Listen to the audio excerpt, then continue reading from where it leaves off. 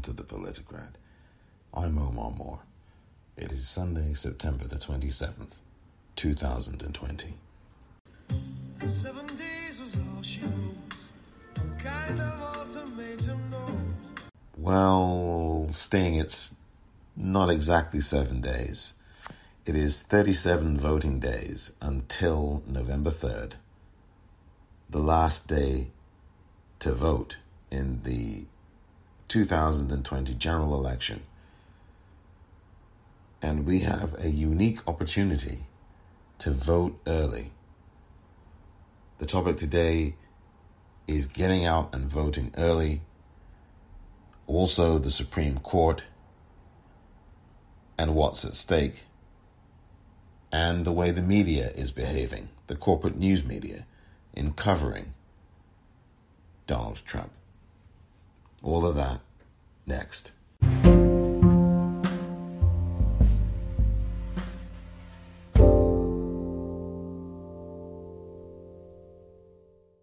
Thirty-seven, twenty-seven, fifty. no, those are not.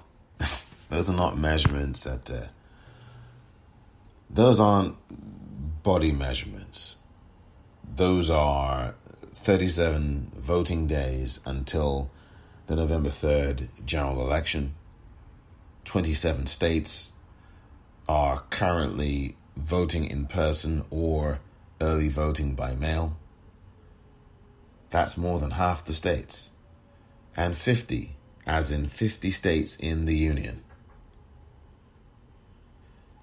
Voting is so critical now, and there really is little left to say other than to vote early if you are in an early voting state right now. And pretty soon, all 50 states will, with a, maybe a couple of exceptions, will have begun the voting process prior to the November 3rd election day itself. And because of the pandemic that we currently are struggling through, the election day, as it were, becomes a two month process. It is not just November 3rd. November 3rd is the last day of the election itself. The actual election began in earnest on September the 4th when North Carolina began mailing out its ballots to voters who are registered. Now, I want to make this very clear. The only people who receive ballots through the mail automatically because of this pandemic are people who are already registered to vote. That is something that I am going to continue to emphasize on this podcast because there is too much lying going on. There's not just lying going on, it's going on everywhere.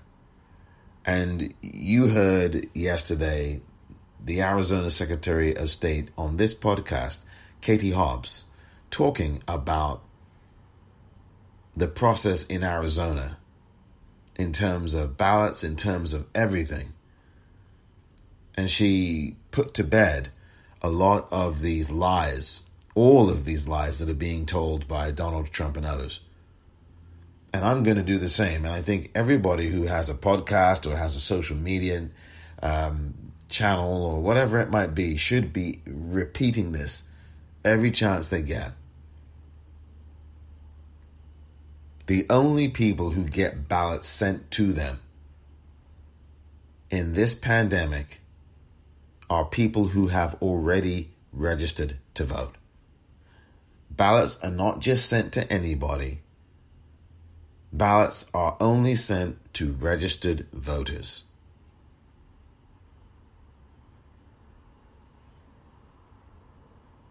So, what we have now is an election that really began, as I said, on September 4th with the North Carolina vote and the fact that the ballots were mailed out in North Carolina on Friday, September 4th. We've seen record numbers of ballot requests and they continue to go on. We're seeing in places like Michigan over 2.1 million requests and counting. We're seeing the same thing in Pennsylvania people are voting early and people are voting in person early.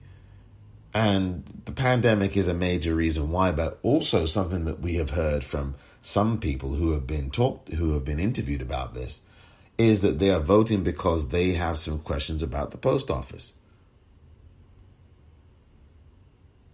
But no matter what the reason is, there is unprecedented turnout happening in this country so far. We're seeing it in Illinois with these long lines there. We're seeing it in suburban Illinois. We're seeing it within the cities in the state of Illinois. We're seeing this in places like Virginia. We're seeing this in other places where there is early in person voting. We're seeing this in Alabama as well to a degree. So there are places now where there is a lot of in person early voting. And as I said, 37, 27, 50. 37 more voting days, 27 states currently voting early, whether that is in person or by mail, and the 50 states of this country, the United States of America. I'm actually going to outline to you all the states that are currently, as of this day, Sunday, September 27th, 2020, voting right now. Here are the states that are voting right now, early voting in person. And if you are in one of these states, please make sure that you have voted if you haven't already done so. Because early voting, as I have said, is the key to this election. Early voting is going to be the thing that I think will put Joe Biden and Kamala Harris in the White House. I really do think that's going to happen. And I really do think the only way it can happen is if it is done by a landslide. There must be unprecedented voter turnout in this early voting period. I could not stress this enough. I cannot stress this enough. There must be unprecedented voter turnout in this early voting season.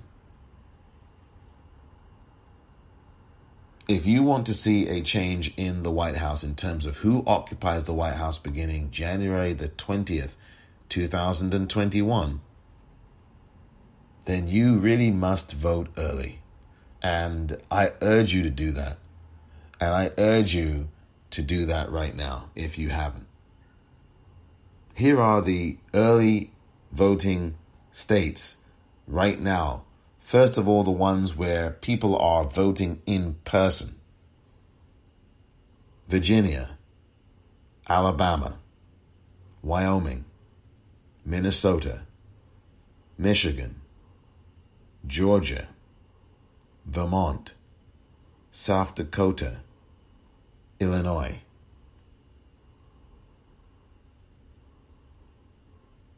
Those are the nine states that are early voting in person right now. And in some of those states, there have been reports of long lines. I've seen some of the news reports in Virginia and in, in other places Illinois, as I just mentioned, where there are long lines. And on the first day of early voting in Illinois, just like in Virginia the week before, long lines in various parts of the state. Now, of course, we don't know exactly how all of those individuals have voted or are going to vote or had voted, but we will certainly find out in the days after November 3rd. And before I get to the states voting early by mail, it's also important, and I'll get to this a bit later on, that the news media does its due diligence and exercises maximum responsibility in terms of how they are reporting on the results of this election. So, this is something that I'm going to talk about a little bit later on. Do you hear that alarm, that siren? That siren is literally telling you that it is time for you to early vote and to do that now. Please do that now. If you are in any of those states that I just read out in the early voting in person category, please make sure you mosey on down to your local precinct. I've got links to all of the precincts in terms of the counties, I should say, the county board of elections places in every state. They're called different things, as I've said before, but please make sure that if you are in Virginia or Alabama or Wyoming or Minnesota or Michigan or Georgia or Vermont or South Dakota or Illinois, and you happen to be listening to this and you haven't voted yet, please get out there and early vote in person. I know that there's a pandemic. Make sure that you have a plan to do that, to vote, whether you do it early in person or if you do it by mail, in which case, make sure that you return your ballot immediately. In fact, I would be returning my ballot and by dropping it off either in a drop box or going to the local county board of elections and dropping it off with them. That's the strategy that I would be employing right now. So, those are the early voting in person states as of this date, September 27th, 2020. Now, I'm going to read you the states voting by mail right now. And all of these states are the ones where they are actually either returning the ballots by the US Postal Service or they are doing what I just suggested, which was dropping them off at a drop box or going to their local county board of elections place and dropping it off there. So these are the these are the states that are voting by mail early right now.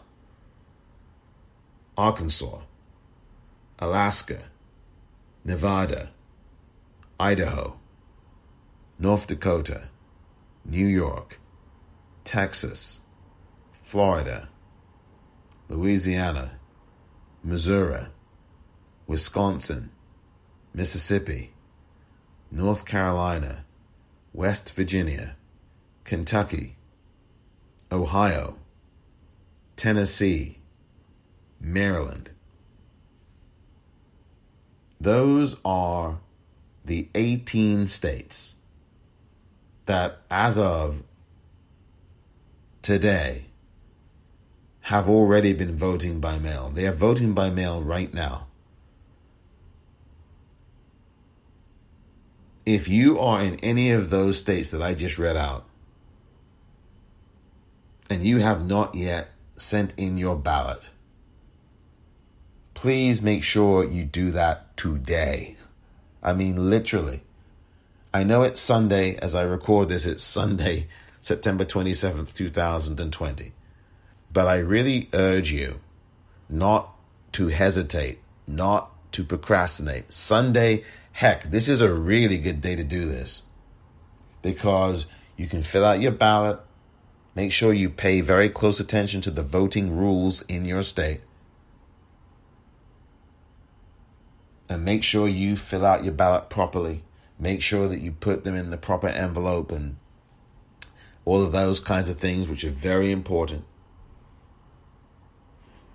And once you do that, make sure you either drop it off at a drop box or drop it off at your county board of elections or your municipal clerk's office or whichever office it might be. I have links to that on my uh, voting list, which I am updating daily. I'm going to be updating some more actually.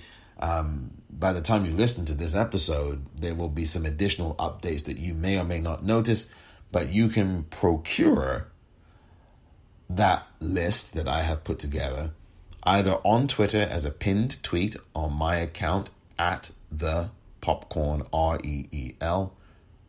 Or, if you wish, you can check the liner notes of this episode or any other episode over the last few weeks because I do have a link to the voting list that has links to all 50 election commissions slash secretaries of state and links to voter registration deadlines, links to checking your voter registration, links to requesting an absentee ballot, And that will continue to be updated where where necessary on a daily basis. So that is really important for people um, who are listening to this podcast episode here inside the United States.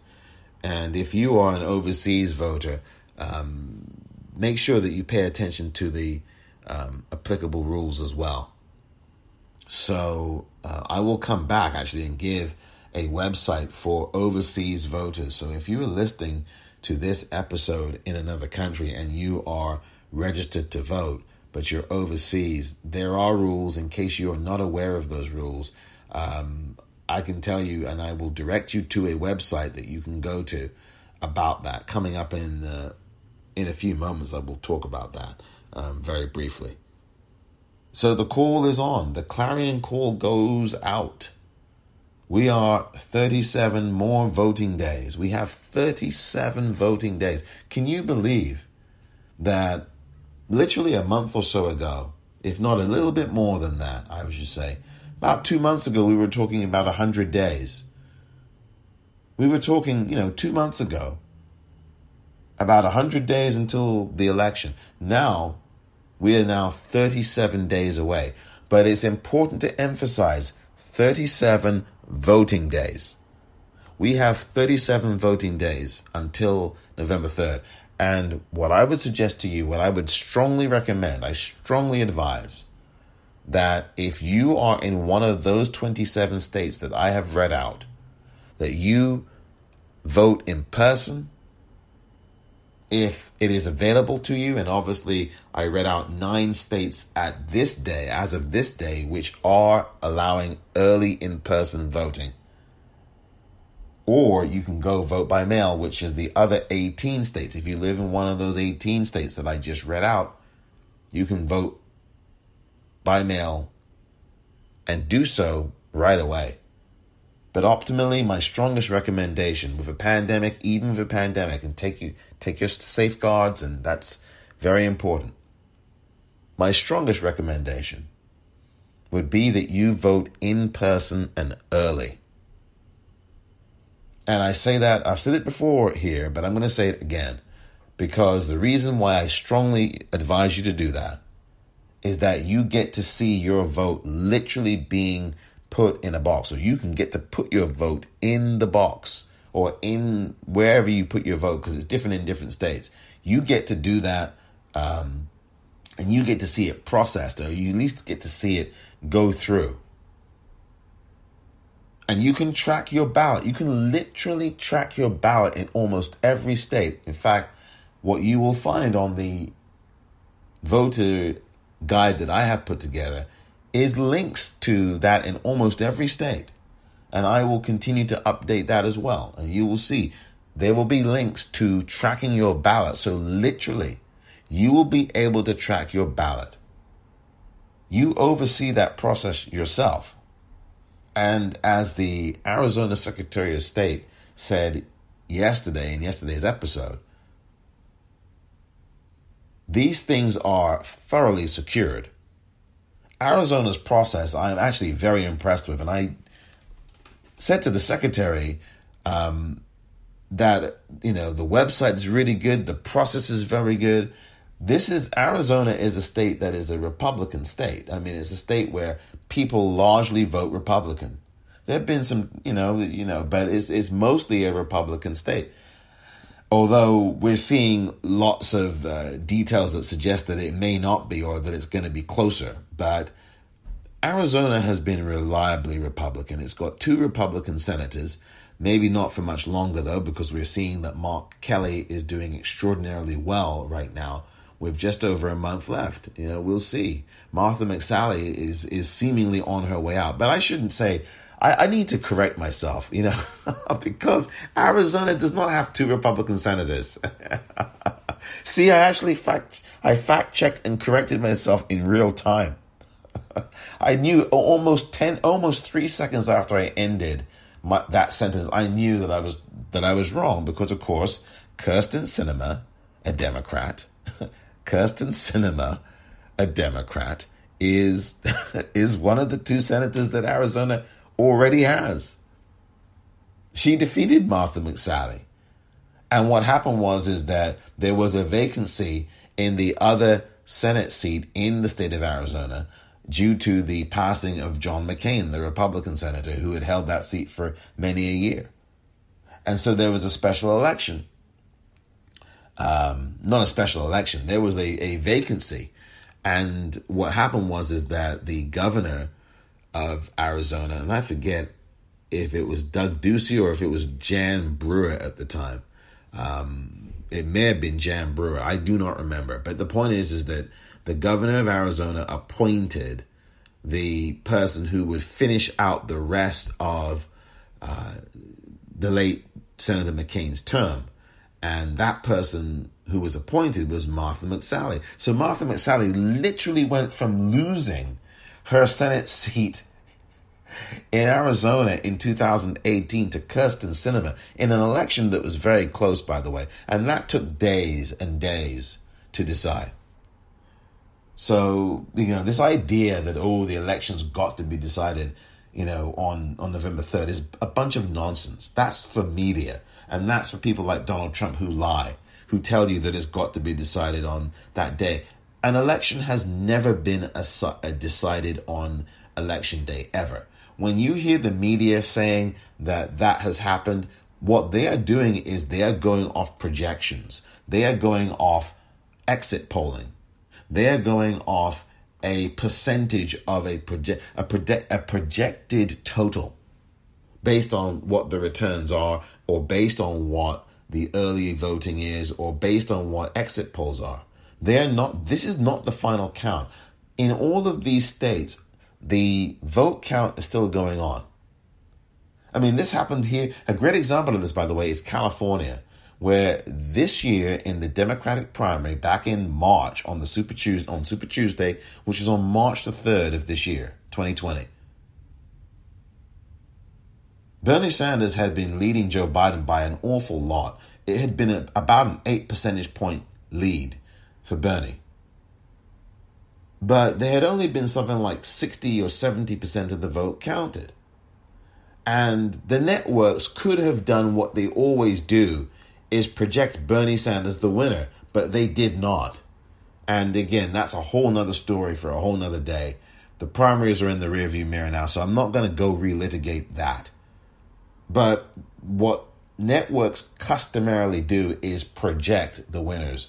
And for lots of reasons that I'm not going to rehash here, the corporate news media decided not to, not to call that race out west here um, in California.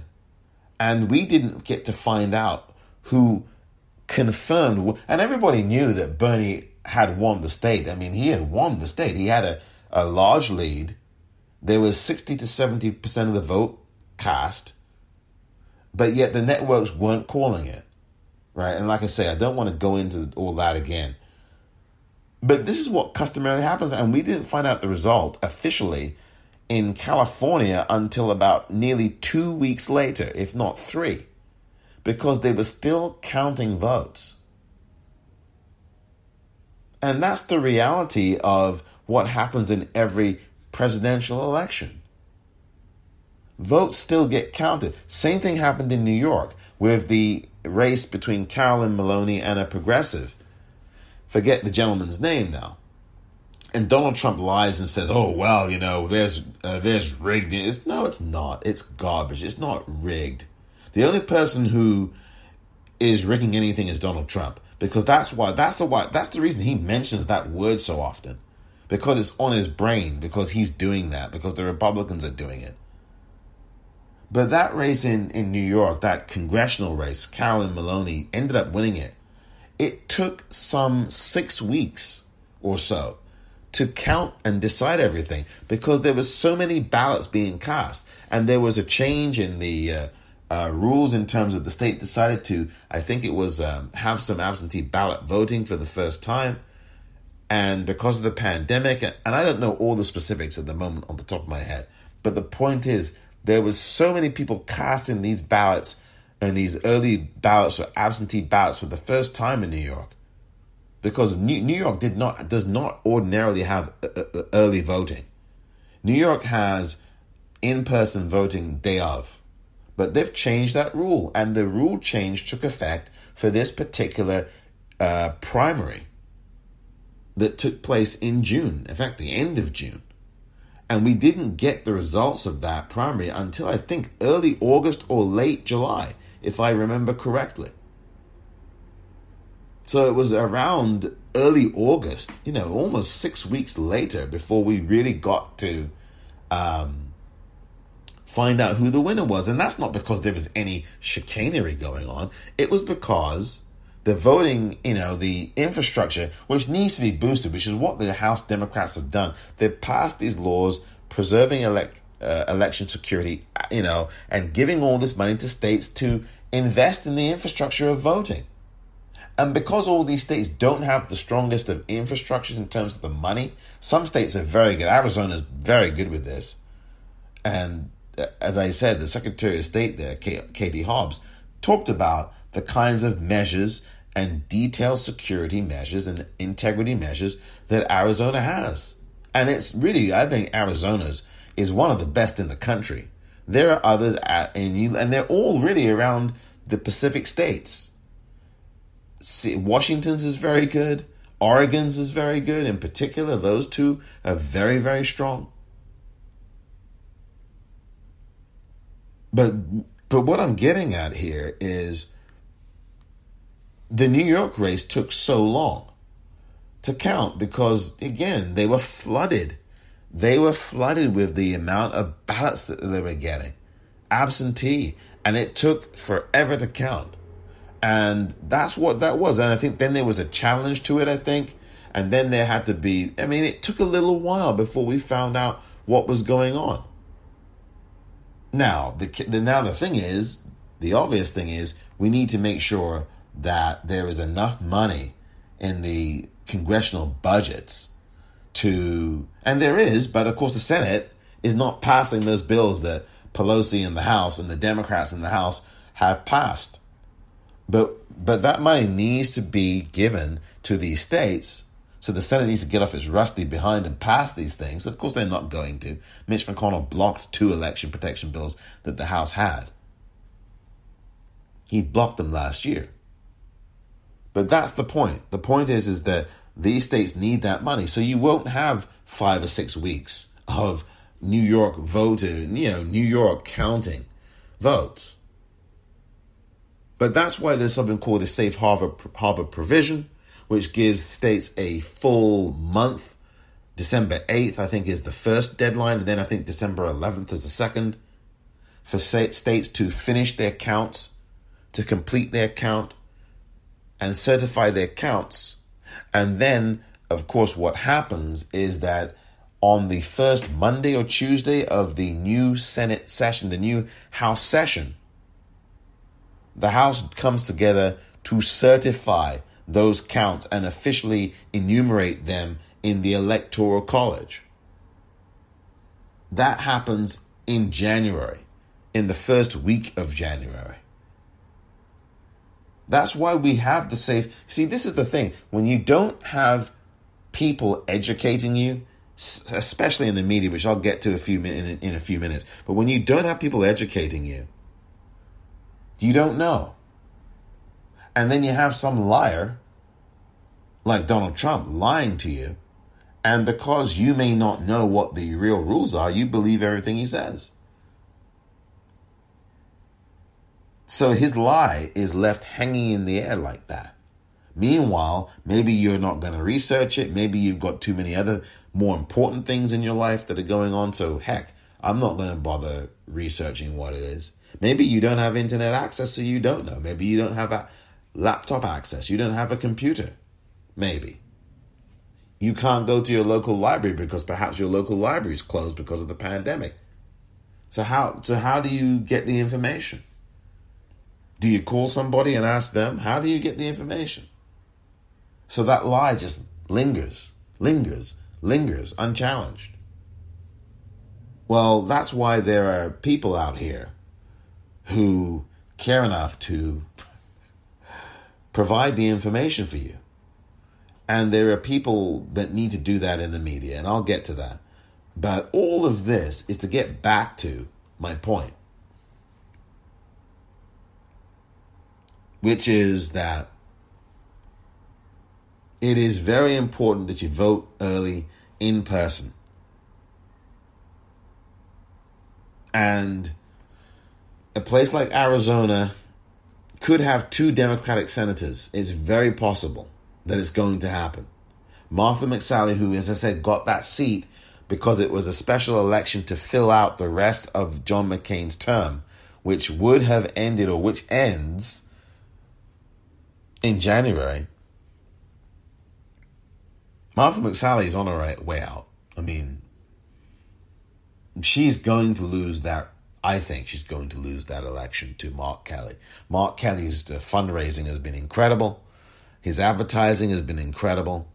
Um, Mark Kelly's an astronaut. He spent a year up in space by himself.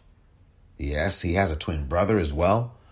Uh, Mark Kelly is the husband of former Congresswoman Gabrielle Giffords, who you know what happened to her.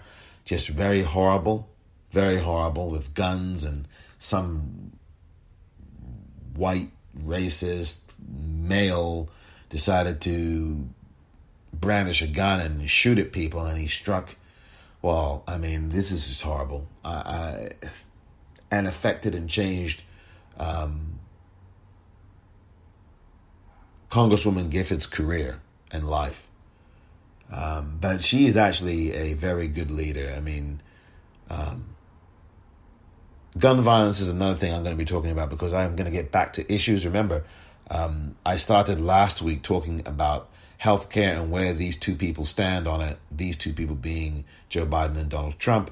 And I'm going to get back to issues again here um, this week because, of course, there's a debate coming up. But I just want to get right back to Arizona. It looks like there's going to be two Democratic senators there. I think there will be. Um, I think that um, Kyrsten Sinema, well, Kyrsten Sinema is not up for re-election yet, but she will hold her seat, obviously, because she's not up for re-election yet.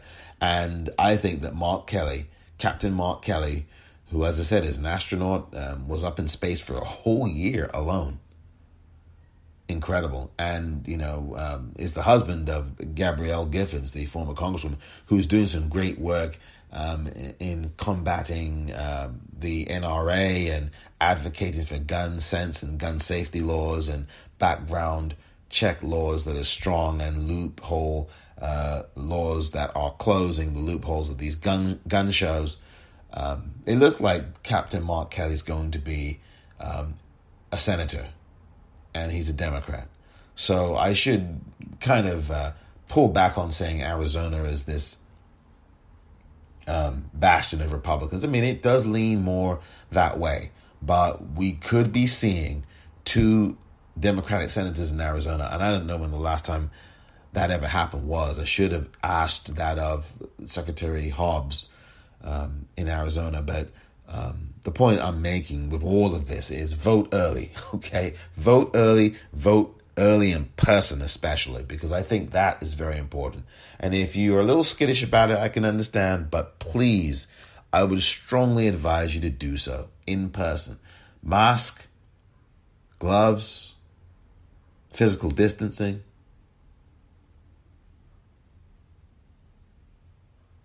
I strongly recommend that you do that. 27 states are voting early, and they are voting early right now as I speak. So, certainly, if you are in one of those 27 states, you have either received or are going to be receiving very soon your mail in ballot, or you have early voted in person or will do so. And I urge you to do that if you haven't yet, to do it immediately, really. Um, do not wait. Do not wait. Do this right now because the earlier you vote, the better.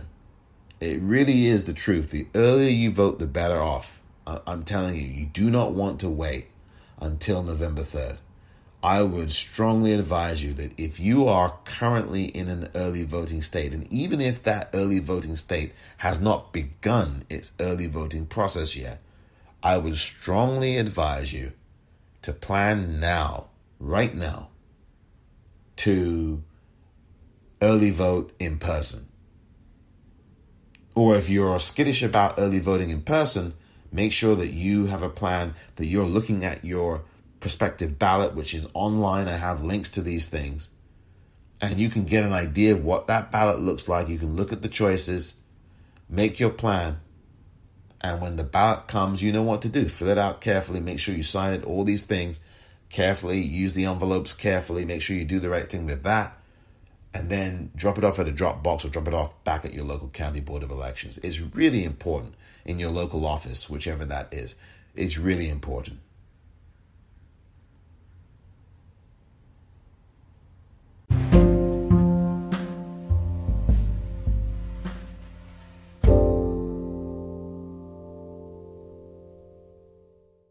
Welcome back. And one thing before I get on to the topic of the Supreme Court. It is, I think, very important to understand one thing. We are still in a pandemic. It is very important to wear a mask. Please wear a mask. And as you can perhaps hear that barking dog. I think that dog is also asserting a level of agreement with my sentiment. This pandemic continues. Over 206,000 people in the United States have died from the coronavirus and from Donald Trump's murderous hands. Now, I know that Joe Biden will not say this at the debate on Tuesday, but that is exactly what has happened. The media won't say it. Because anyone who knew on February 7th of this year that this was a very deadly, dangerous virus, and he said so and told Bob Woodward this on tape while lying to us and telling us publicly that no, this isn't a big deal, it's going to go away by April is someone who's guilty of murder and should be brought up in front of the Hague. Brought up in the Hague for charges of crimes against humanity and mass murder and genocide. I mean, no one wants to really say that or deal with it because it seems like, oh my goodness, oh my God, how could you? But the fact of the matter is, is that it's not just that Donald Trump lied, it's that Donald Trump knew he knew.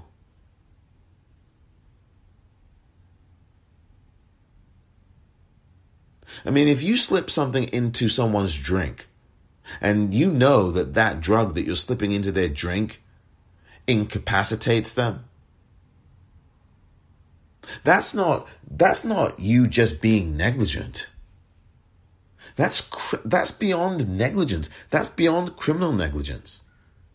Whatever happens to that person who drinks that drink is what the person who puts the pill or drug of choice into that drink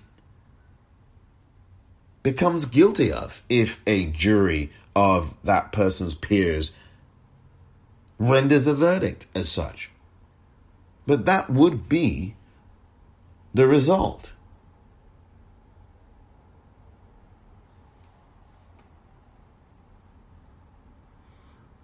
It wouldn't just be, oh, he's negligent or incompetent. That would not be the thing. So we must stop calling mass murderers negligent people. Because they are not negligent people.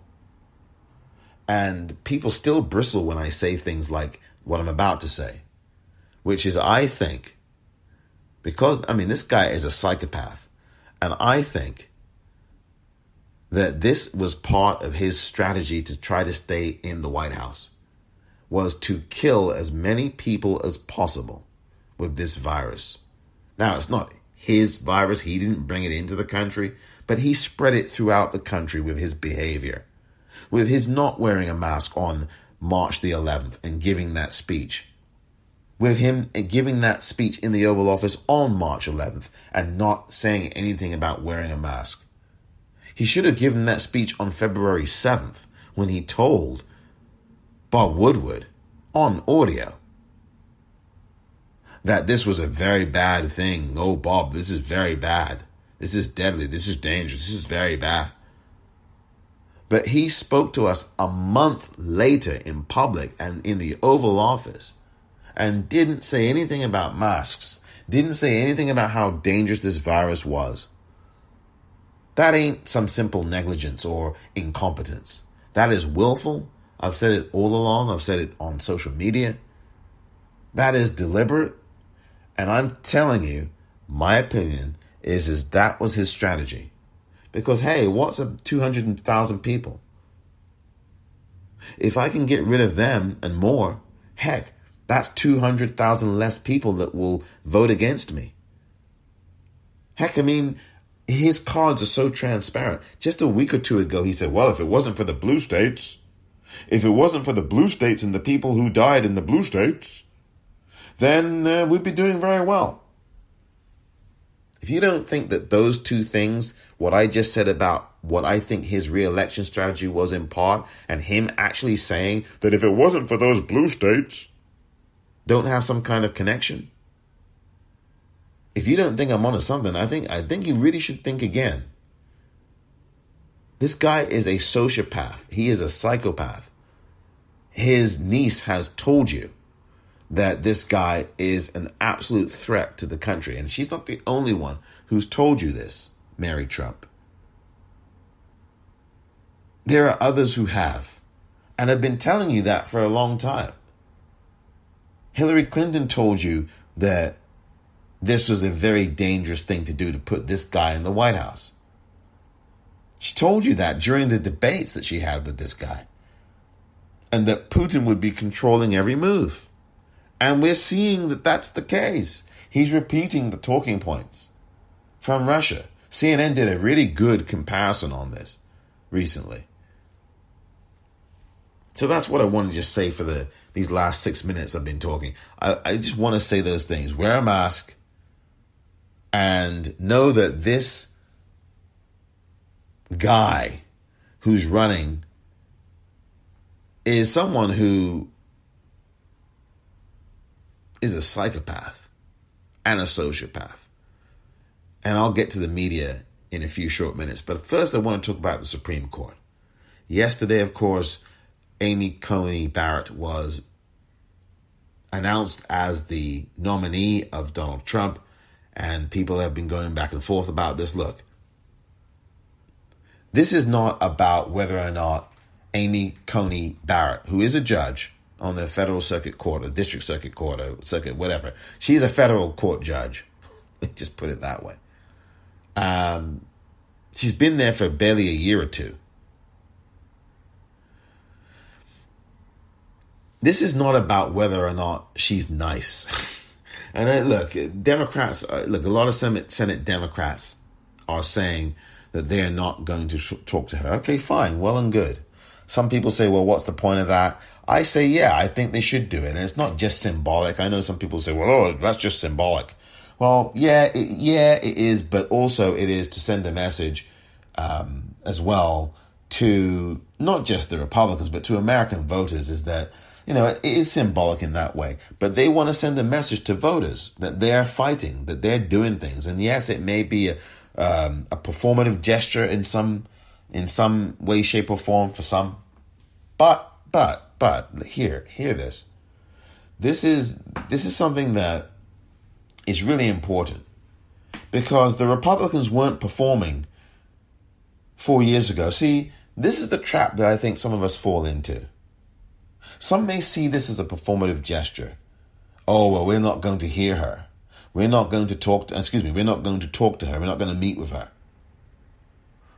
We're not going to do that. And some of us have already, some of that, some of the Senate Dems, Chuck Schumer, has said that he's not even going to vote for her. He's already said that. He's made it very clear. The other, some of the other Senate Dems are a bit more, well, you know, but it's obvious they're not going to vote for her.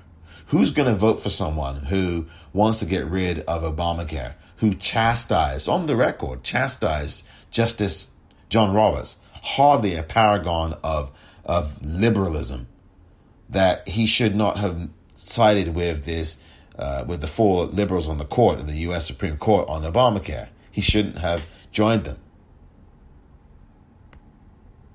This is not about a performance because no one's calling what Mitch McConnell did a performance four years ago. They're calling it skullduggery. They're calling it a theft of a U.S. Supreme Court seat, which is, act, which is exactly what it was. Nobody is calling Mitch McConnell and what Mitch McConnell did four years ago a performance or symbolic.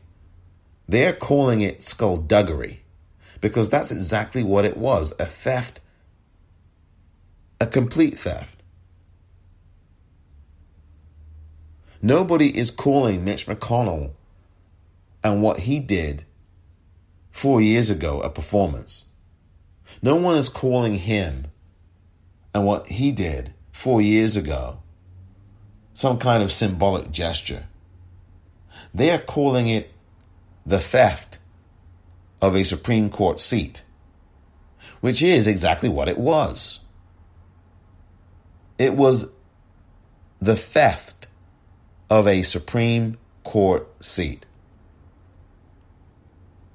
Article 1 of the Constitution mandates, mandates that the Senate must advise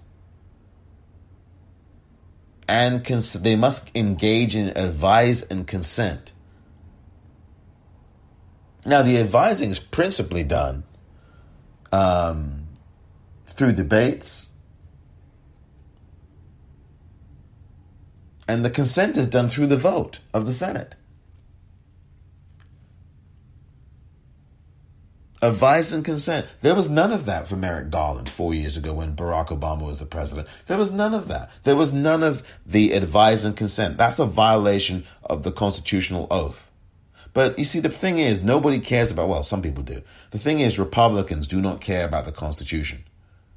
They can quote texts and claim originality and originalism all they want. But when it comes to procedural matters, and when it comes to downright governing, they don't believe in the Constitution because they violate it. Mitch McConnell violated his constitutional oath. He violated his Article 1 responsibilities four years ago. Nobody called that a performance. But when Democrats do it, oh, it's a performance. No, it's not. This is very important what the Democrats are doing. Some people say, "Oh, it's symbolic," and maybe, maybe, maybe I, maybe I would say that it is. And I just said earlier, well, maybe there is some symbolism to it. There is, perhaps, there is symbolism to it, but, but I think this is deeper than that.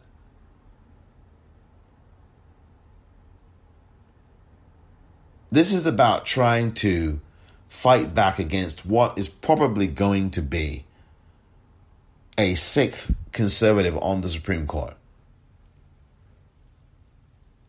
But stranger things have happened in this country. Stranger things have happened.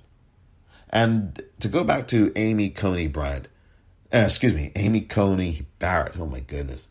I am just mixing up everything. I, I could have said Coney Island. I mean, I'm just mixing up everything. This pandemic scrambles your brain, um, among other things. I mean, it's it, it, it no, it, it just scrambles your brain. It doesn't do anything else except the trauma and pain that people have been feeling, and the helplessness, I think, and the despair.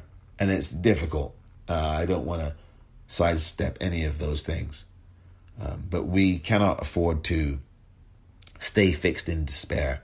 Um, now, if you are suffering from clinical depression, um, then what I have to say will have no relevance. In fact, it, it would probably come off as very insensitive um, because clinical depression is very serious.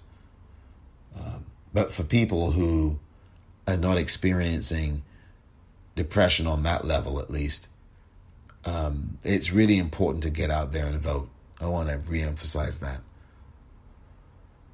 But on to, again, Amy Coney Barrett, who um, has been named now as the nominee to be considered. The Republicans are trying to ram this through October 12th is where they intend to start hearings and all of this kind of stuff. Um, Democrats do have in the Senate tools that they can use um, to slow this all down. Uh, we'll see what tools they use. We'll see um, what tricks they will use. But it's just so unseemly, obviously, that this is being done now. But the reason why it's being done now is because the Republicans have power. I mean, that's really the chief overarching reason. Now, the obvious reasons are to get rid of Roe v. Wade, to get rid of Obamacare, to get rid of labor rights, and to turn this country into a right to work country. And right to work is a very deceptive term. It doesn't mean you can get to work. You have a job. You have a job. You have a job. You have a job. This is not Oprah we're talking about here, with all the greatest respects for, uh, for Oprah Winfrey. This is about right to work, is about stripping away unions. There are already right to work states like Indiana and other states, mostly in Republican territories, where people do not have labor unions representing them, or if they do, they can face harsh fines and they can face all kinds of penalties, including, I think, jail perhaps. And what Judge Barrett wants to do is squash unions. What, that's what Brett Kavanaugh wants to do. Now, Brett Kavanaugh and co have enough votes. Mitch McConnell and co have enough votes. Donald Trump and co have enough votes. The Republicans have enough votes to do these things if Amy Coney Barrett gets on the court. And I don't think we should be painting this as an air of inevitability, by the way, because there's things that you and I can do. We can call Republican senators, and we must call them. 202 225 3121. We can do that today. And we should call them on a daily basis. And just because Mitt Romney says, well, you know, I think we should have a vote on the nominee before the election, that, that doesn't mean that you just don't call these Republicans anymore. Keep calling these people. Even though they've already said what they've said. Call them, pressure them.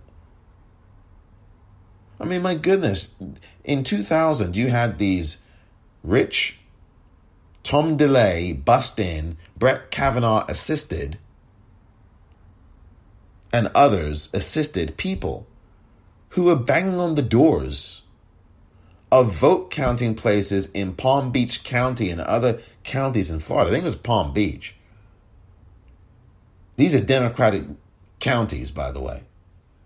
And so you had these a busload of these Republican operatives and people acting as if they are some kind of populists, banging on the doors of the vote count places in Palm Beach County, Florida. This is a true story. You can go check this out on YouTube. You can check this out anywhere. You can search it online.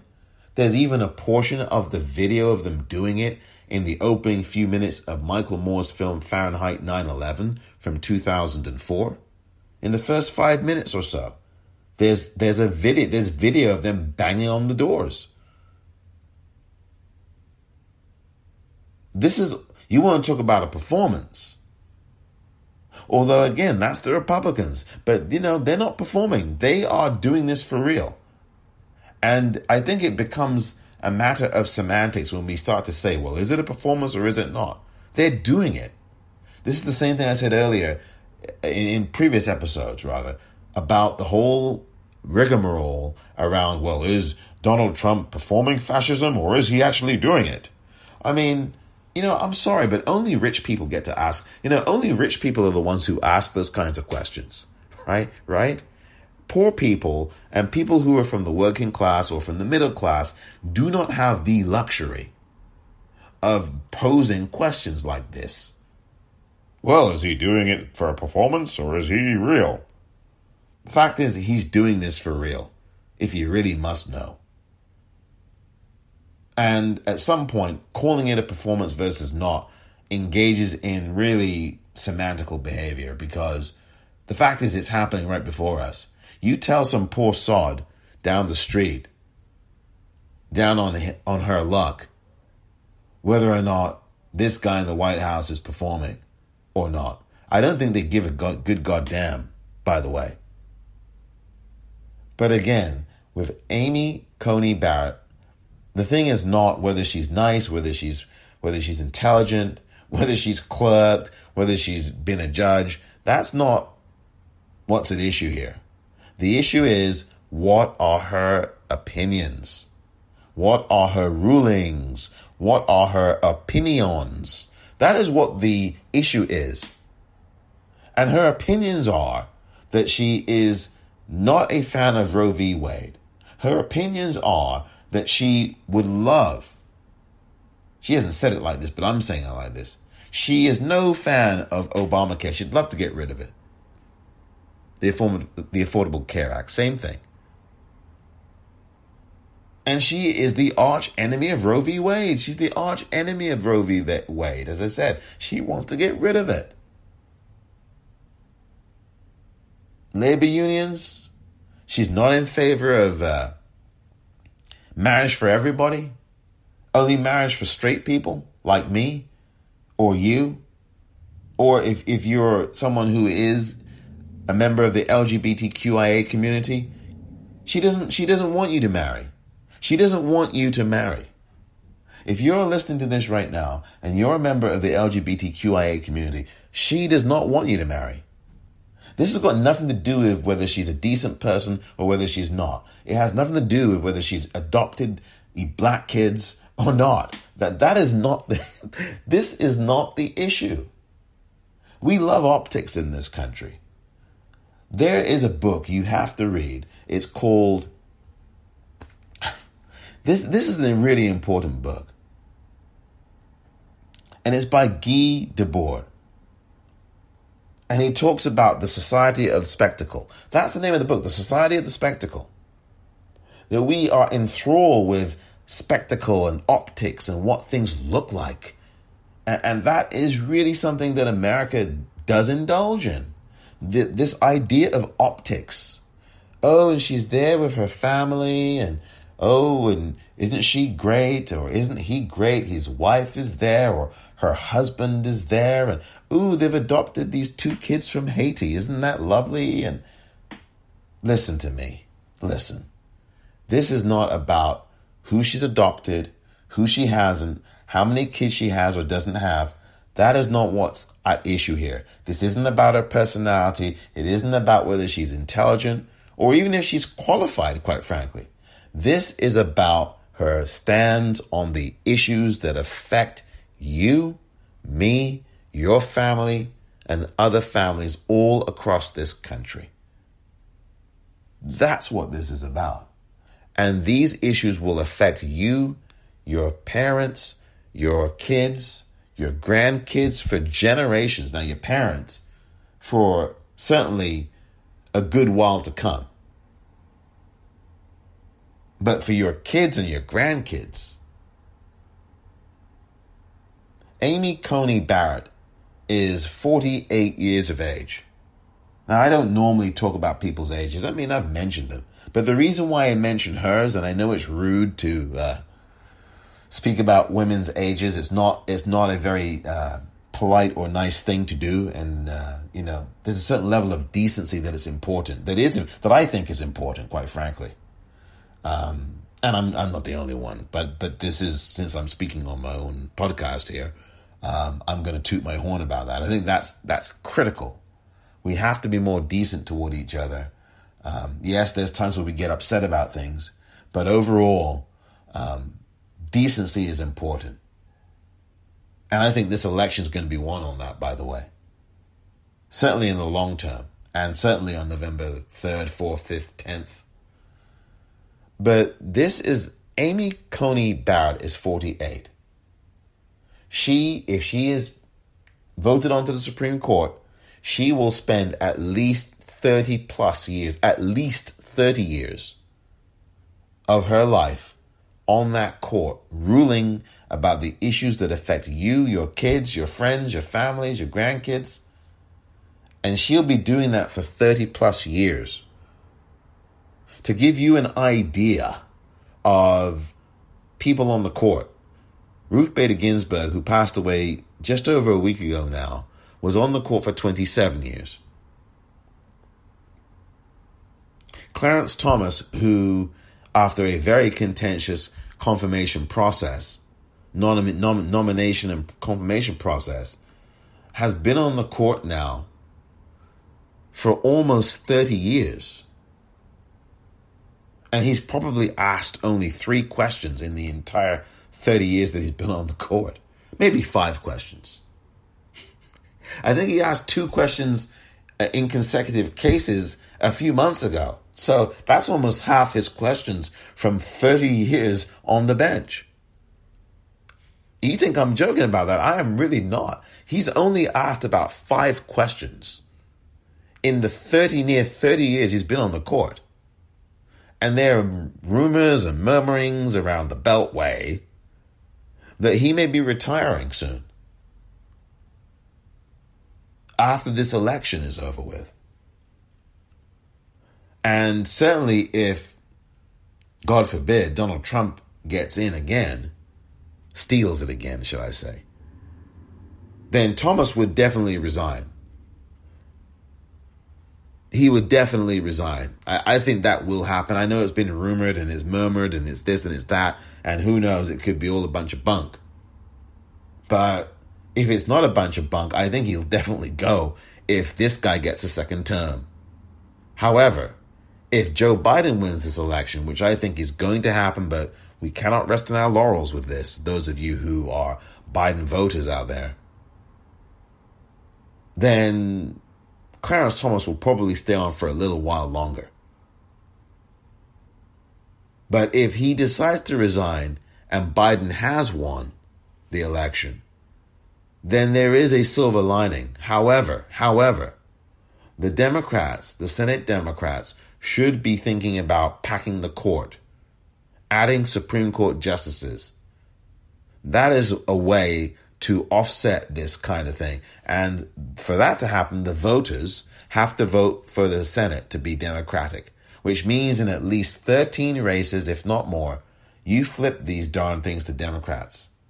Now, the Democrats only need four, a net gain of four Democratic senators on the night to take the Senate back.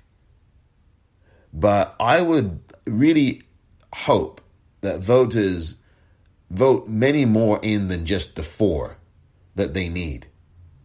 I would lovely, it would be lovely and optimal to have nine more Democratic senators. Because there are some votes that will require a supermajority, say 67 votes.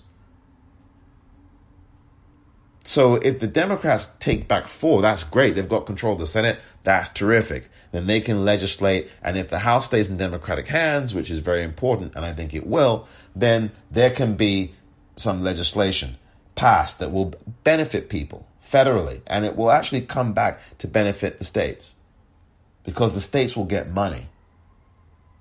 Congress provides some of that as well, and that is Congress. The Senate is Congress. The House is part of Congress. They're both Congress. But you also need to make sure that the White House turns Democratic. These things are connected. Elections have consequences. I know it's a line that you're fed up of hearing, but it's the truth. Elections really do have consequences. So, I mean, we really do have to do this. And the Senate Democrats should do whatever they can do to slow this nominee down. And it is good to hear that some of these Democrat Democrats are not meeting with her. Some of the Democrats in the Senate are no, I'm not going to be part of Senator Senator Blumenthal yesterday out of Connecticut. He said Richard Blumenthal. He said, "Look, I'm not going to meet with her. I refuse to be a part of trying to legitimize this charade, this farce." I'm not going to participate in, in, in legitimizing it. And I think that's a good position. That's not about being symbolic. That's just strategic. That is taking a stand. You got to fight whether you have the votes or not. And the Republicans do it, and they're not called performers. When Obamacare was being thrown before the House, put before the House, I should say, you heard, you saw John Boehner? Hell no, you can't! Yeah, that's what he said. Hell no, you can't. And that's not a performance. That's a guy that's angry. That's a guy that's peed off, pissed. That's not a performance. I mean, again, this kind of nonsense about whether something's a performance or not. Well, when when someone has killed over two hundred thousand people, when someone has called U.S. Uh, military personnel suckers and losers, when someone calls a war hero someone who's not a real war hero because he he got caught, and then maligns him in death, and then says all these things about John Dingell, who also was a war hero, and implied that he was in hell. When someone says to people to go back to where they came from, or calls Haiti a shithole country, excuse my French.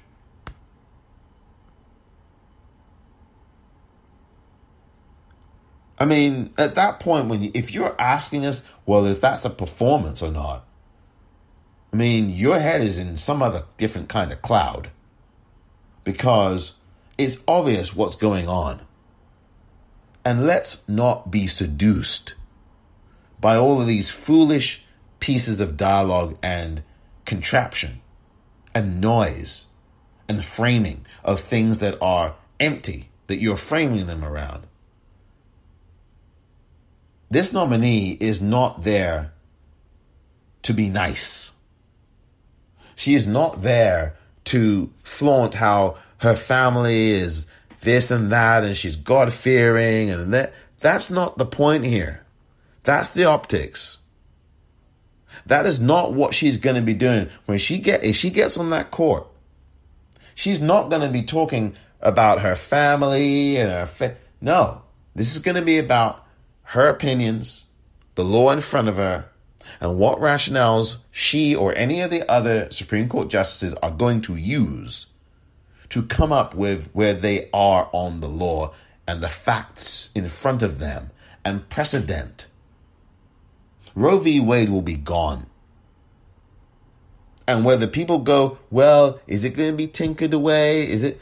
The fact of the matter is, is Roe v. Wade has been chipped away for years. You have some states where there's only one clinic for a woman to go to. If they need to have an abortion, they have one clinic in the entire state. This is not, uh, this is, so to tell me, well, it, well, Roe v. Wade will still be there, but listen, look, Roe v. Wade is being chipped away anyhow, which is the horrible thing. And it's going to be gone completely under Amy Coney Barrett. You can bet your bottom dollar. And for those of you who have the Affordable Care Act, for those of you, you know, Obamacare, same thing. For those of you who have Obamacare, you will lose that under this judge if she gets confirmed as a justice. And that would be injustice. But it would be even more injustice if you sat there and did nothing. Which is why I strongly advise you right now you must call these Republican senators at 202 225 3121 and call the ones who are not voting for the nominee before the election. And look, they may well vote for her after it, but right now, call Susan Collins, who's going to probably lose her seat, as the Republican in Maine, the senator there. Call Senator Collins and say thank you for, for not falling in line with this. Call Senator Murkowski, the Republican in Alaska, 202 uh, 225 3121, and tell her, Senator, thank you for not going along with this vote before the election.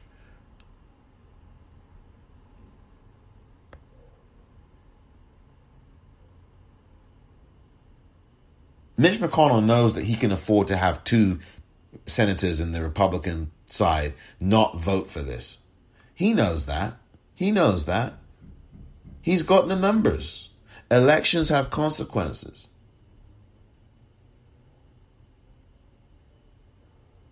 That's the key here.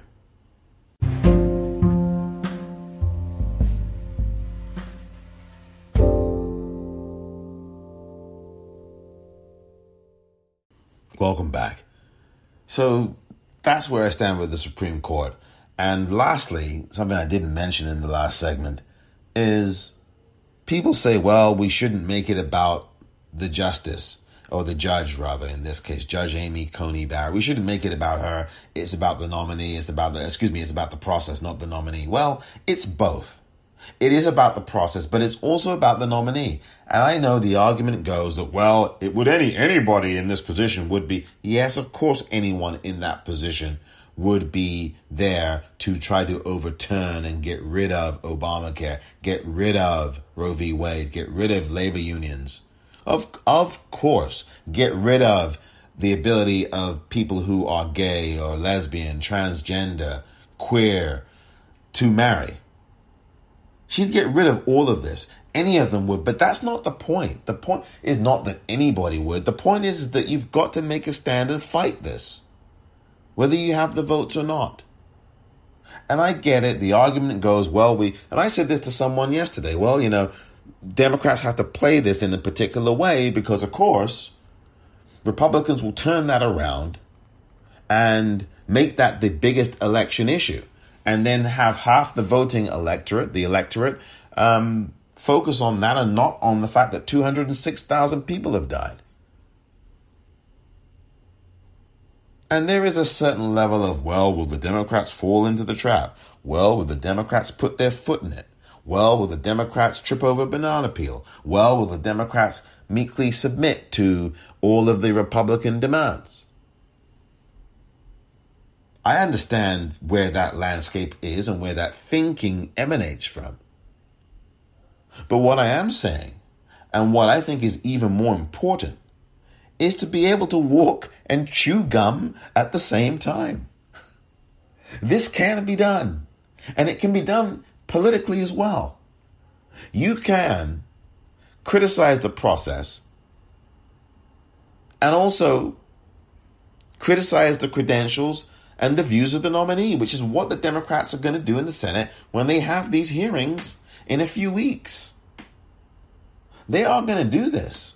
In fact, quite frankly, I think there's less mileage in them attacking this now and more mileage in them just doing it. Call, tell tell the American public, like these senators are. Chuck Schumer did it yesterday, and so did Richard Blumenthal, the senators, the two Democratic senators, the the minority leader uh, Schumer and the other Democrat there, Richard Blumenthal. They both did it. They said we're taking this to the American public. All you have to do is say that. All you have to do is say a vote for this. It, and they did. Schumer did say a vote for this nominee is a vote to get rid of Obamacare and to get rid of Roe v. Wade. And that's exactly what they have to say. And they did it the most succinctly.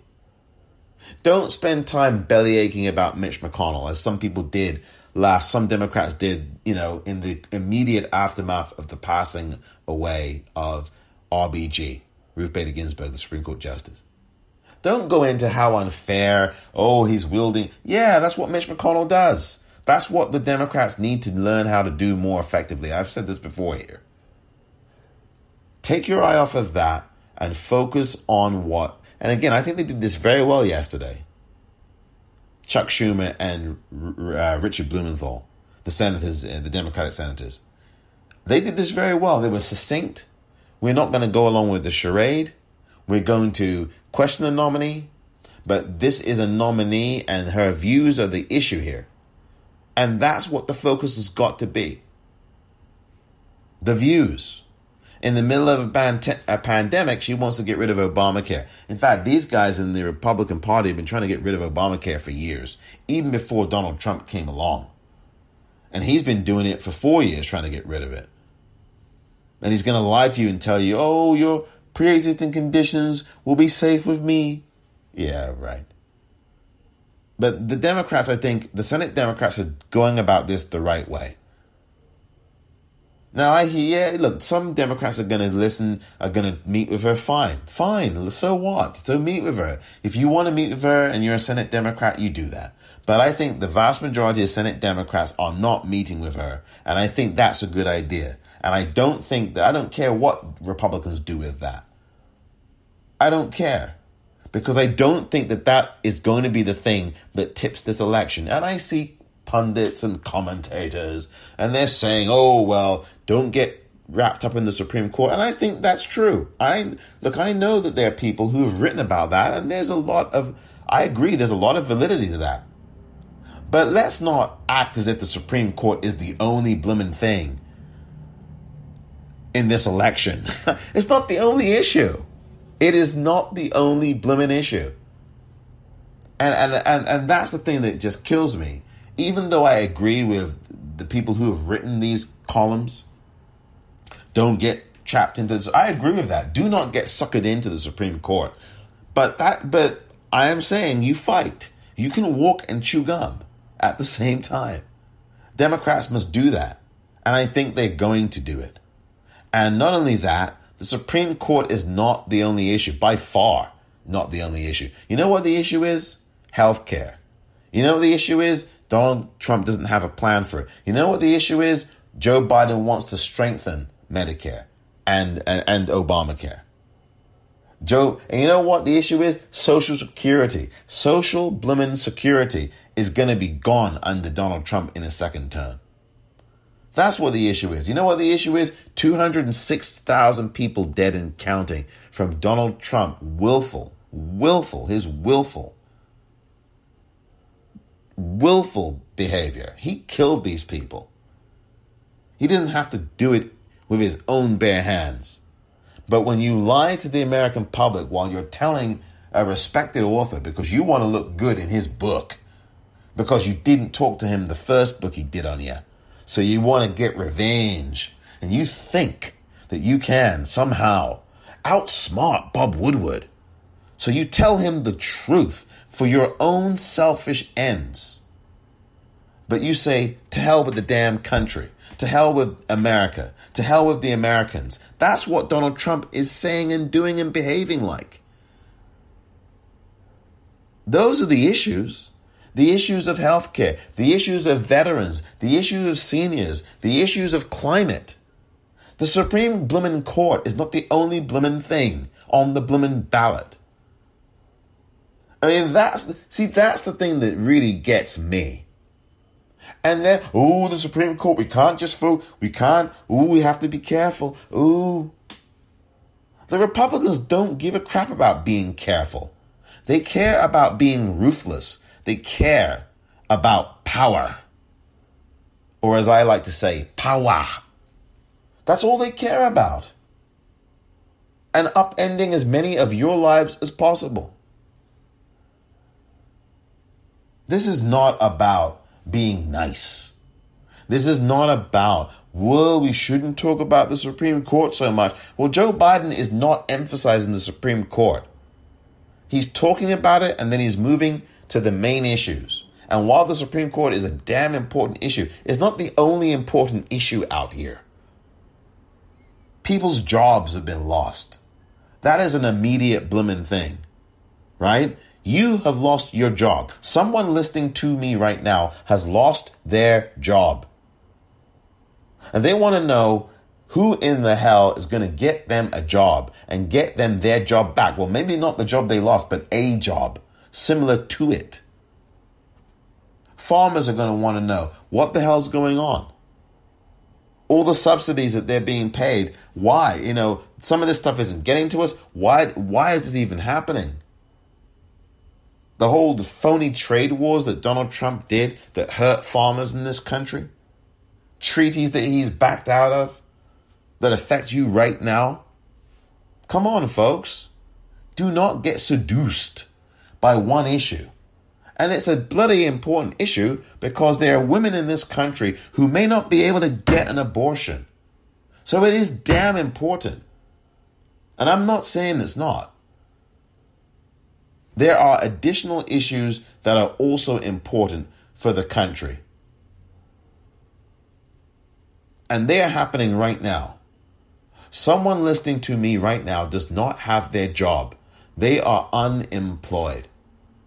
Someone listening to me right now has lost a loved one or knows of someone who lost a loved one to coronavirus.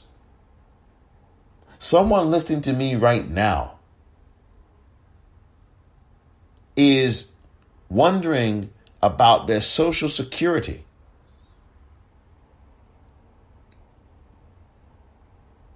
Donald Trump has told you that he wants to get rid of that. Oh, these entitlements. That's a code word for Social Security and Medicare. He has presented a fiscal 2021 budget. The fiscal year for 2021 begins on October 1st. That's only a few days from now.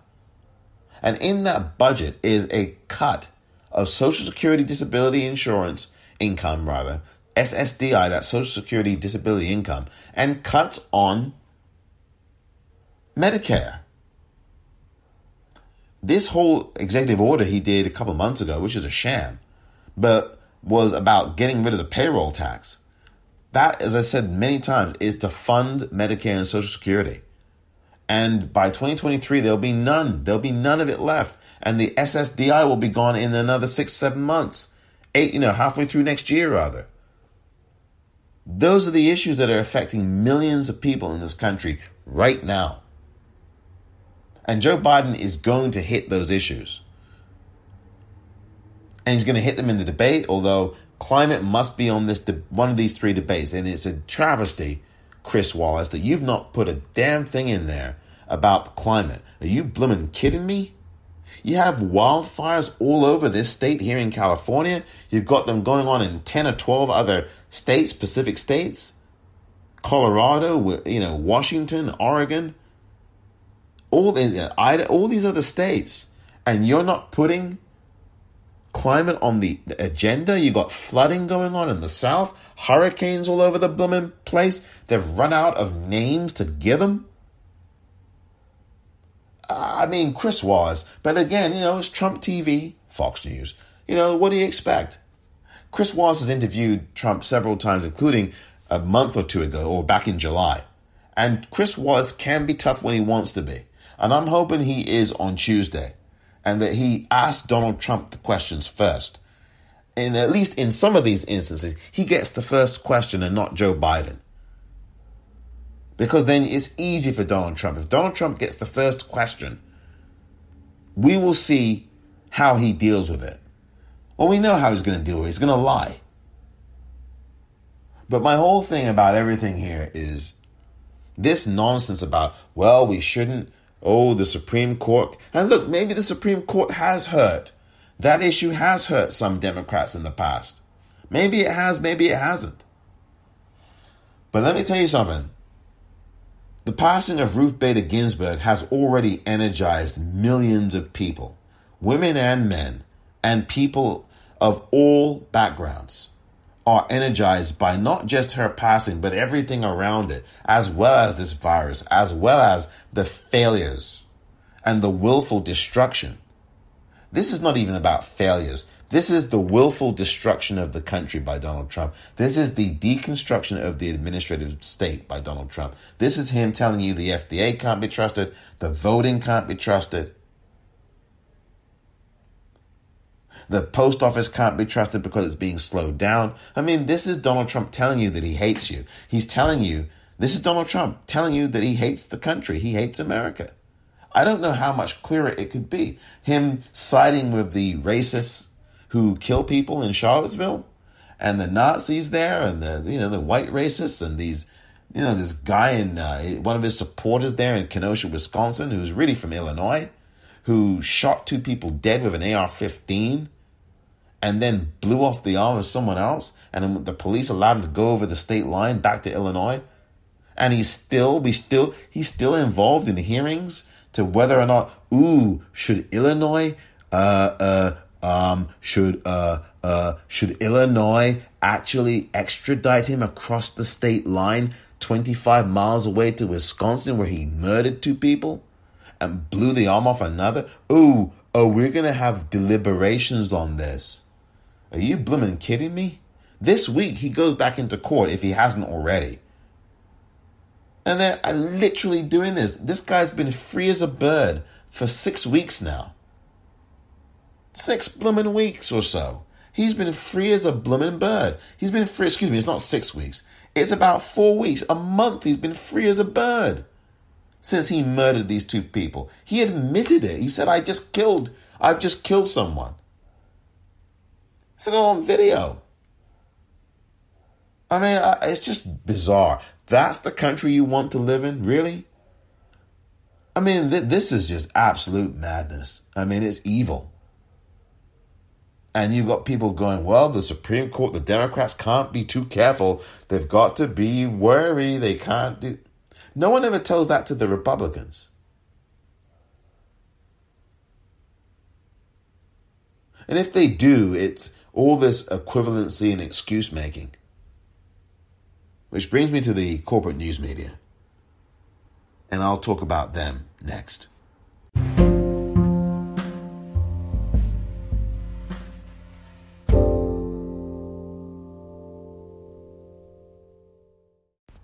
Welcome back.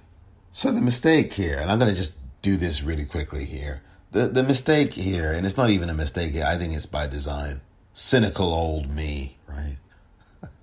you haven't detected any trace of cynicism over these last uh, the last few months that I've been doing these episodes. You you've not detected a, a single solitary syllable of cynicism anywhere, have you? Not a single solitary syllable of cynicism. Oh, I love the alliteration there.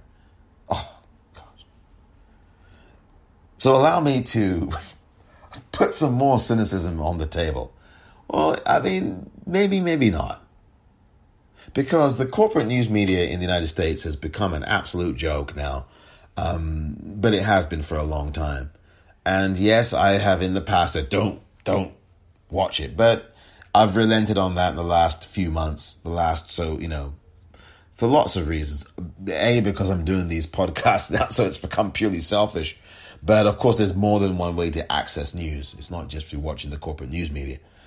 Um, and B, because it's important to get sound and put some sound on the table that you can hear because a, a, lot of people don't watch CNN or MSNBC or dare I say Fox. A lot of people don't watch any of them. They don't have the time. They don't even have, well, not even. It's that they don't have cable TV. They don't have TV. Some people just do not have televisions because what's the point? You've got a phone, you've got an iPad, you've got your laptop, whatever. You can watch TV or watch stuff on it, right? And and uh, Look, that's just the fact. There's a lot of households that don't have televisions. And I'm not just talking people under 30. I'm talking about people over 40 and over 50 and in, in, who don't have TVs in their households. They have, you know, radios, they have books, they have lots of other things. And believe me, that that's a better option than sitting in front of a television. Um, you know, because a lot of this stuff, and I and I'm not saying that as someone who does because I don't sit in front of the TV all day. Um, I, I do like to collect news off my DVR, and I will tape some of these things, and there's things on there. I will bring them on social media or, or do them in real time because I think it's important. A lot of people don't see these clips.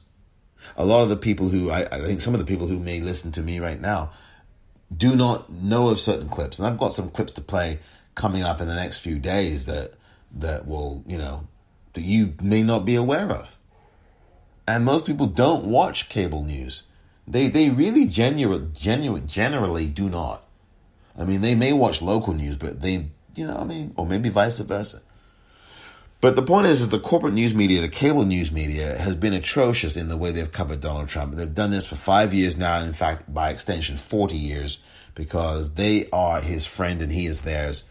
He is a part of the media. He had been. He had a deal with NBC Universal. He no longer does. He, of course, had a TV series called The Apprentice, The Celebrity Apprentice as well. He was on that thing for years. It had high ratings. People watched it. Maybe you watched it. I never had watched it. I've never watched The Apprentice. I never watched The Celebrity Apprentice. I can cover myself in glory. Aren't I a good person? That's not the point of this. The point of this is the point of this right now is to say that now that this guy has polluted the White House, covering him as if he's some ordinary person. Oh, he's just this ordinary candidate. He's trying to be reelected. You can't cover him that way. And it will be interesting to see how Chris Wallace on Tuesday does this as a moderator, because I think that's going to be very important. Even though there are very few undecideds left, and even though these debates I don't think are going to sway a blooming thing or anyone, because their people's minds have been made up, folks. 27 states, as I've already said, are already voting. So, debate or no blooming debate, people's votes are already in the can. And I mean in the ballot box, okay, not in the garbage can.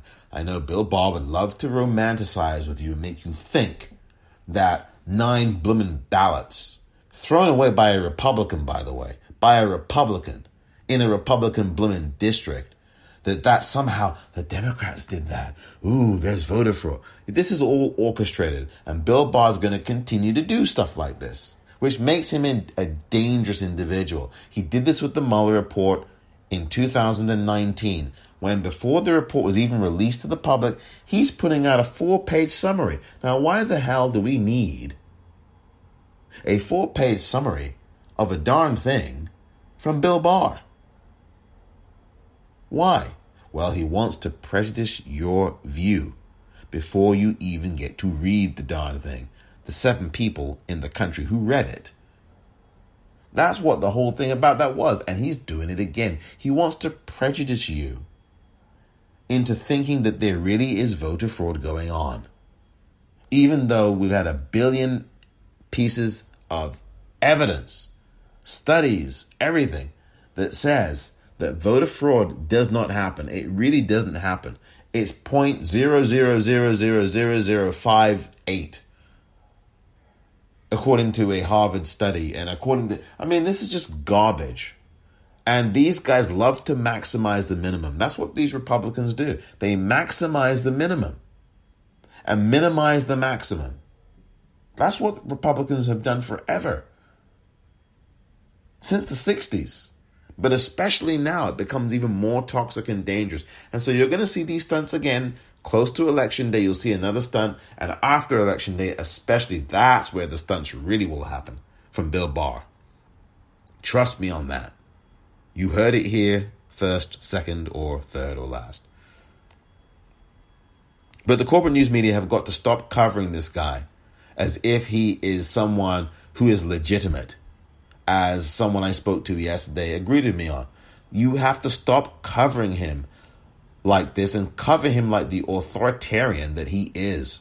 This is the conversation I have with somebody. And, and, and we both agree. We the, this is somebody who is a dictator. I've said this for a long time about him.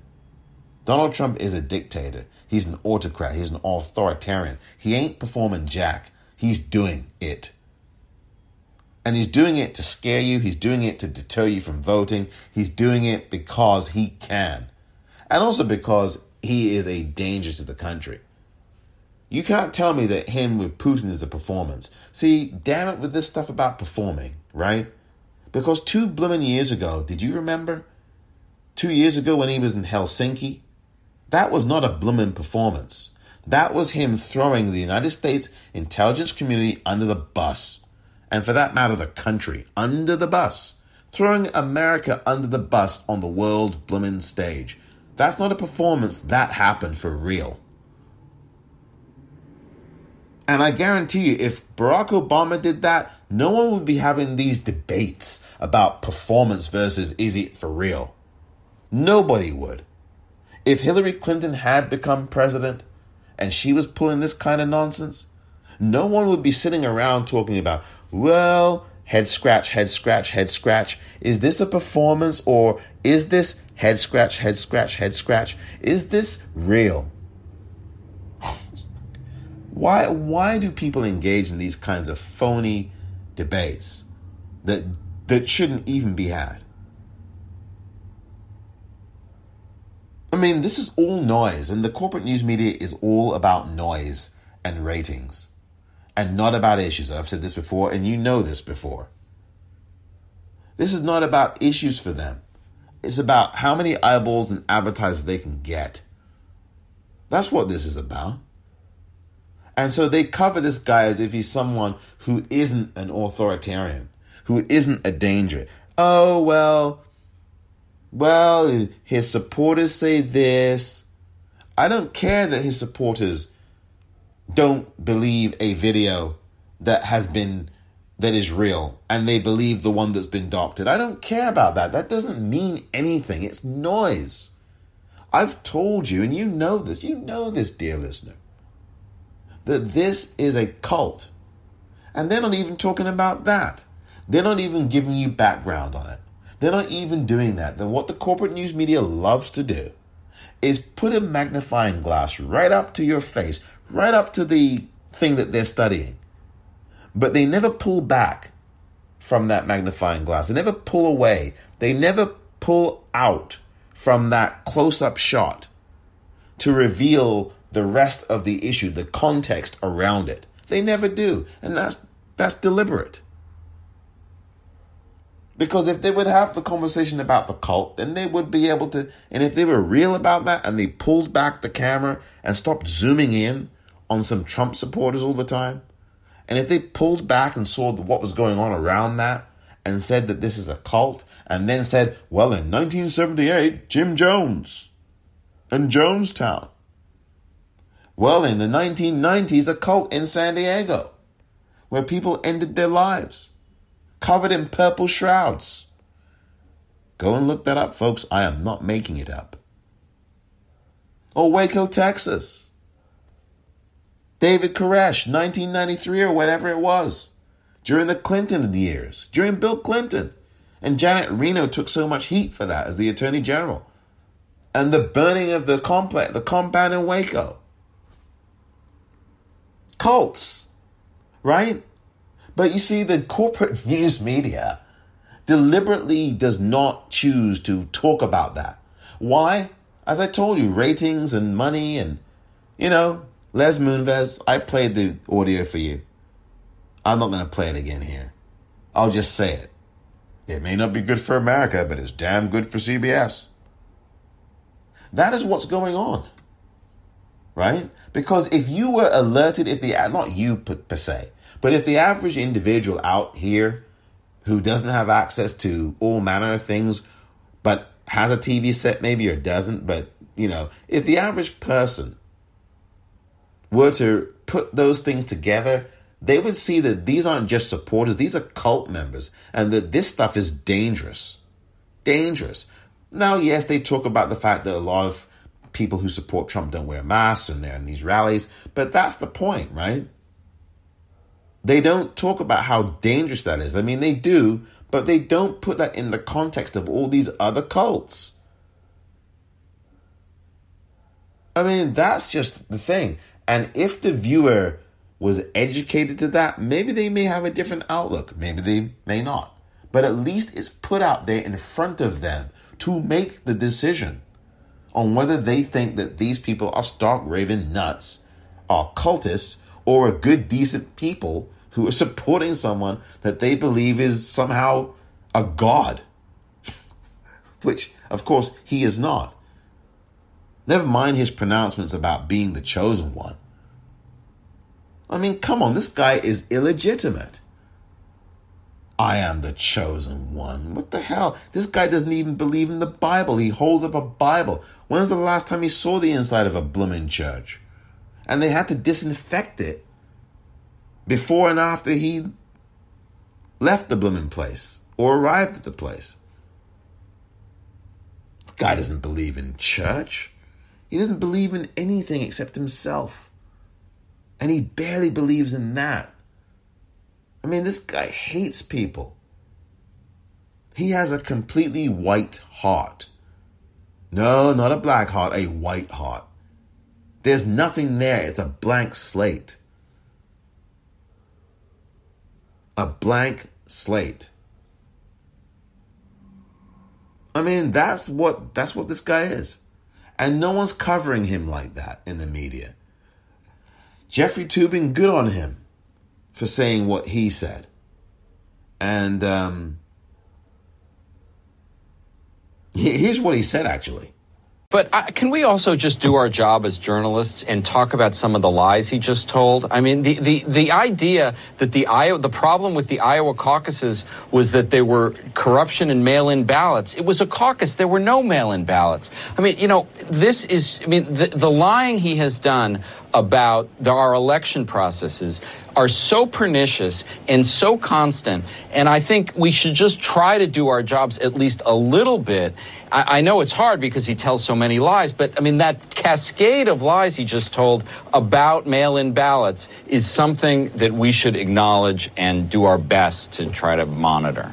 You're absolutely right. Uh, we, we get used to all of that, uh, the distortions. Uh, when he said we're leading in Pennsylvania, leading in Florida, we're leading everywhere. Uh, well, according to almost all of the polls, that not not necessarily true. Uh, it looks like there are very close contests in those key battleground states in Florida and Pennsylvania. Although some of the most recent polls in Pennsylvania show that Biden is ahead. And you're right, as far as the ballots are concerned, uh, there were a few, a handful of ballots thrown into a garbage can by mistake. There wasn't any crime there, right?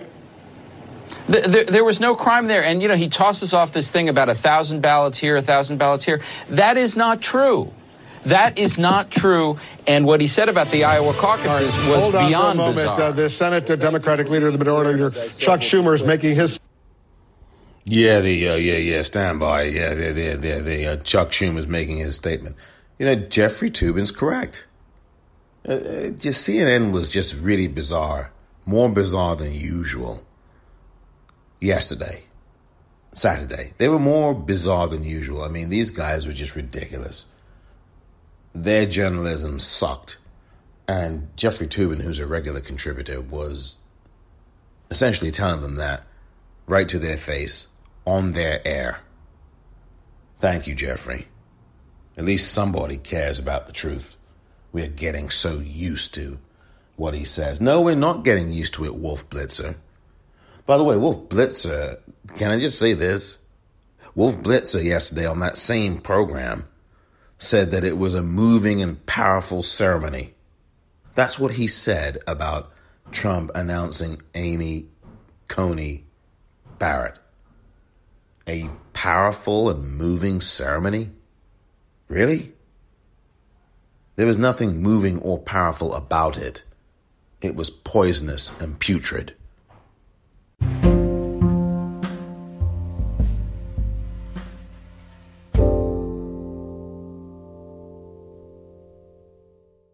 You know, do your job in the corporate news media and do it on election night because you have to continue to tell people right now that this election will not be decided on election day or election night. Don't do it casually. What they've been doing is casually. Well, there's a real possibility that it won't be decided on election night. And then they get the pundits on to reinforce that. But what these anchors need to do is make that clear directly. Directly. And that's what they need to do. And they need to be responsible on election night. Do not call this blooming race. Please like they did 20 years ago and Fox News said, oh, yeah, well, there, yeah, well, Bush won. And then all these blooming networks changed their blooming projections. And one of the, and the guy who ran Fox News election desk was actually the cousin, the cousin of J- Jeb Bush. Unbelievable. Unbelievable. Hardly anybody, I, that was in Fahrenheit 9 11, Michael Moore's movie from 20, 2004. It's just crazy. It's crazy. The corporate news media cannot afford that madness because democracy really is at stake. And now white people are really getting it that this is serious. And black folk have been shouting about this. We've been shouting about this for centuries. But now the rest of uh, the rest of you out there, now you understand what we've been telling you and died telling you for centuries. Elections have consequences. The media and its behavior has consequences. The news media must responsibly cover election night and cover the results and make it very clear on election night and before election night, at the start of election night, that the election will not be decided today on election day, on November 3rd, when that happens. You have to say that in the media, in the corporate news media, cable, everywhere, so that you don't have megaphone mouthpieces like the guy in the White House screaming because he's going to. And I dare say that when he does, you cover that responsibly and stop giving him all this airtime. In fact, I wouldn't be giving him any airtime from November 3rd onwards until this election is actually resolved in terms of the counts being done and every vote tabulated counted. And I would have him embargoed off Twitter. I would embargo his account for all that time. I really would. Twitter's not going to do it, but I would recommend that that be done so that he didn't spread all his lies on Twitter or anywhere else and declare a victory, which he's going to do. But the media has to be very responsible about they handle it, how they handle this, just like Chris Wallace does about how he deals with this debate on Tuesday. I think I have no no question about Joe Biden. I think Joe Biden's going to have a very good debate night. The issue is how is Chris Wallace going to handle Donald Trump when he keeps talking and lying? Is he going to fact check him? Are there going to be fact checkers in the media doing things in in real time? I think there should be, and I have a feeling that there's going to be. Certainly, Daniel Dale's going to have his work cut out for him, as will I, because I'll be doing some of this myself on election night. Uh, excuse me, on debate night. So if you're on social media, if you're on Twitter, you can follow me at the Popcorn R E E L. I will be doing some real time fact checking of everything that's being said. And if Joe Biden lies, I will do the same. I will do the same. But the person who is lying like a rug is clearly Donald Trump. He's told over 23,000 lies since he polluted the office in January 2017. So he's going to lie some more.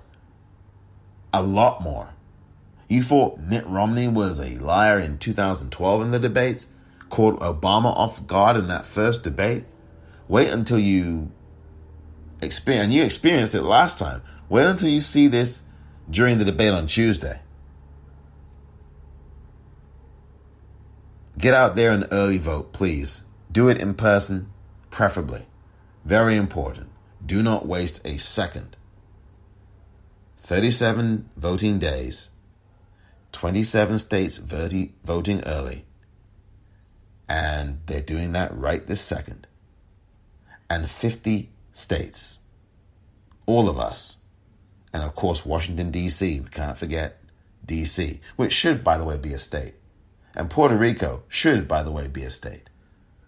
And I will actually put the um, website for the overseas voters. I will put that in my liner notes. I'm sorry, I just don't have the time. I'm running out of time here uh, on this edition. So thank you so much. Thank you very much. And I will uh, put an insert in here as well um, on the uh, website and the link for it uh, on the liner notes for overseas voters. Some really good, reliable information. Thank you very much for listening for this to this edition, I should say, of the Politicrat. I'm Omar Moore.